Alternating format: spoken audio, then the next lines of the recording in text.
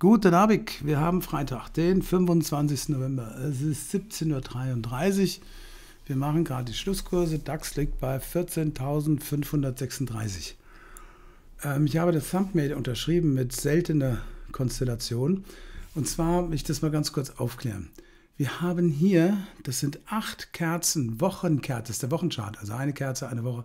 Acht Wochenkerzen hintereinander, weiß, positiv.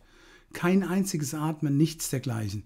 Normalerweise werden solche Bewegungen immer mal wieder, sowas hier auch, von kleinem Atemholen begleitet. Haben wir überhaupt nicht. Ich habe diese Art der Aufwärtsbewegung jetzt auf die Schnelle nur einmal gefunden, zwar hier 2015. Da waren es zehn Wochen hintereinander und wenn ich mich nicht verzählt habe, sind das fast 3000 Punkte gewesen. Zehn Kerzen, bevor einmal eine Korrektur kam.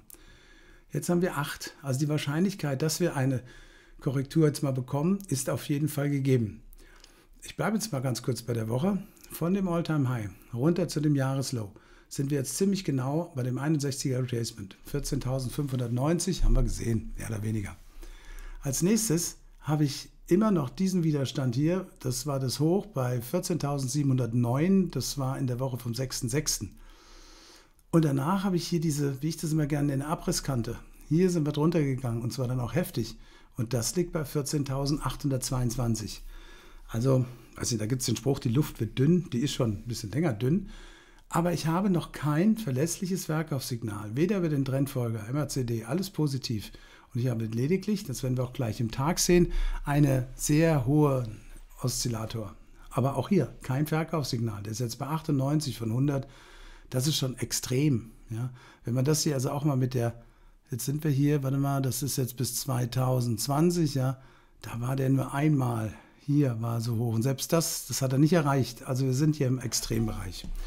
Das heißt noch lange nicht, dass wir jetzt hier sofort fallen. Es ist einfach nur, sagen wir so, die Strecke, die er hier macht, ist ähm, für mich begrenzt. Sagen wir es mal so. Wir sind von allem her positiv. Wir sind vom unteren Band zum oberen Band gelaufen. Also der Markt schreit nach einer Pause im Sinne von, wir müssen ein bisschen atmen. Tatsächlich war diese Wochenbewegung hier, wenn ihr diese Kerze mal vergleicht mit allem, was hier so, was ihr hier so auf den ersten Blick seht, also das war schon fast eine Arbeitsverweigerung. Wir hatten 14.574 bis runter 14.320. Da bin ich bei 255 Punkte in der Woche die hätte sich auch schenken können, muss ich ganz ehrlich sagen. Klar, da war Thanksgiving, ja, aber ich habe das auch im letzten Film schon gesagt, ich habe das um Thanksgiving herum schon hossieren und bessieren sehen.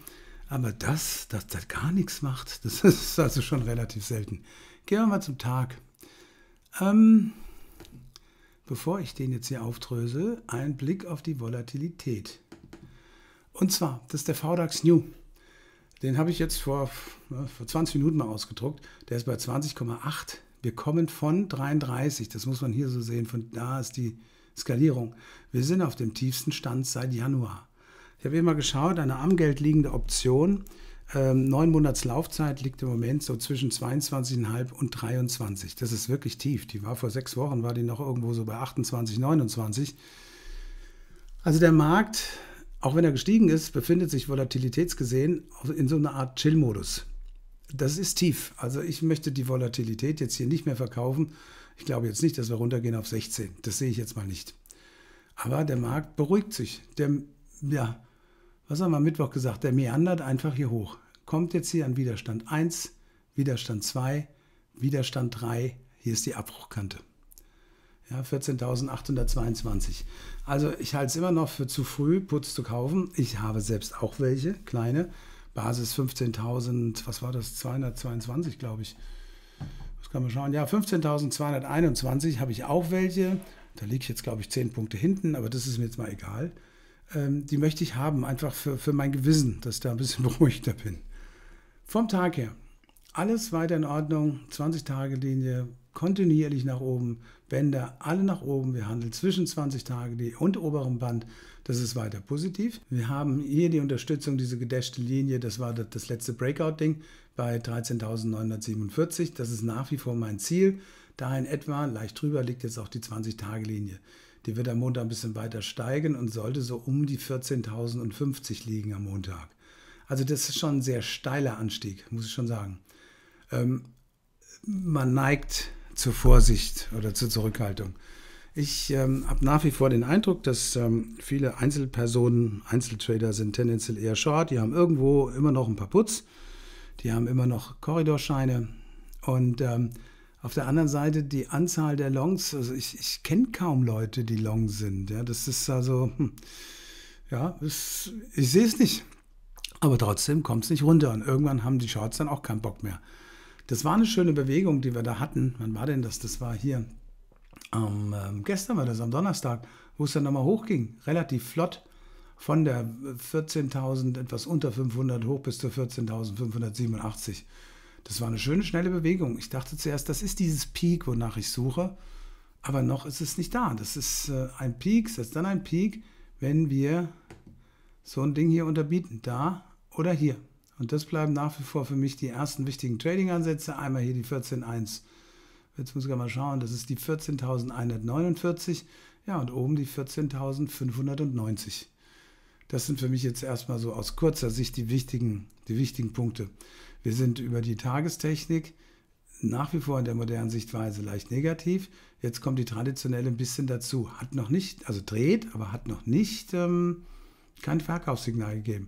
Und nach wie vor werden eben die Wochenstochastik bei 98, ist die Tagesstochastik auch sehr, sehr hoch. Aber auch hier neigt nicht ihren Kopf nach unten. Da ist noch nichts. Deswegen sage ich, der, der, hat noch durchaus Platz. Der kann uns hier so nochmal so richtig rausfuhlen, nochmal mit 200, 300 Punkten. Wobei ich nach wie vor denke, dass diese 14.822, das sollte dann wirklich erstmal Schicht im Schacht sein. Ob eine neunte Wochenkerze positiv in Folge kommt, boah, das wissen wir nächste Woche. Möglich ist es, aber ich rechne nach wie vor eher mal mit einem kleinen Rückschlag hier zur gedächten Linie. 13.926, aber es ist noch nicht so weit. Es könnte soweit sein, wenn wir hier einen Doji haben oder einen äh, Shooting Star. Da muss man mal schauen. Shooting Star ist also ganz langer Docht und ganz kleiner Körper und zwar unten in der Nähe des Tagestiefs. Das wäre dann Shooting Star. Das muss man sich da mal anschauen. Ja, das kann man also am Tag dann immer noch am Abend entscheiden, was man da macht. Von den Scheinen her also das sind die gleichen Scheine wie letzte Woche. Da hat es jetzt lediglich der Hebel geändert und natürlich die Basis, weil es sind ja K.O.-Scheine, also Mini, äh, Turbos und keine Mini-Futures. Ähm, ich habe erstmal 13.617. Da sind wir leicht über der 200-Tage-Linie, leicht über dem 38er Retracement. 13.617 ist im Moment ein 16er Hebel, das ist die Kennnummer GZ3261.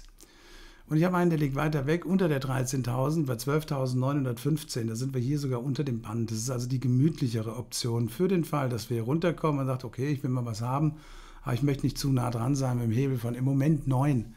Das ist die KG8 TLR. Bei dem Putz hat sich auch die Basis dann reduziert. Beim Calls erhöht sie sich, bei dem Putz reduziert sie sich, ist jetzt 14.994. 14.994, das liegt ganz, also es liegt ziemlich genau am oberen Band. Hebel 29, schon eine größere Option. Die GK0R1V. Oder mit dem Hebel 15 nochmal rund 500 Punkte dahinter. Da sind wir also hier ähnlich, in Anführungsstrichen, gemütlich wie der Call hier unten. 15.483 äh, mit dem 15er Hebel, das ist die KF9M7W. Wenn wir wirklich hier einen Doji machen oder einen Shooting Star und knallen hier runter, gehen vielleicht unter diese beiden Kurse hier.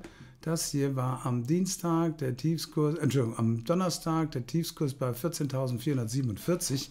Dann kommen diese Putz in Betracht. Ich, ich warte noch. Ja. Ich, ich glaube, ich muss ja nicht dem Markt irgendwas vorausnehmen. Ja. Ich befürchte, auch in Anführungszeichen eher, dass wir nochmal noch mal so einen Peak hier raus machen. Ja. Das, ist, das fehlt irgendwie noch. Die Shorts müssen raus. Es sind zu viele Leute short. Den Eindruck habe ich. Also zu viele einzelne Marktteilnehmer. Aber grundsätzlich acht Kerzen, positive Kerzen in Folge ist hoch, was für mich den Weg nach oben insgesamt ein bisschen versperrt. Ich wünsche euch ein Happy Trading und fette Beute. Bye bye.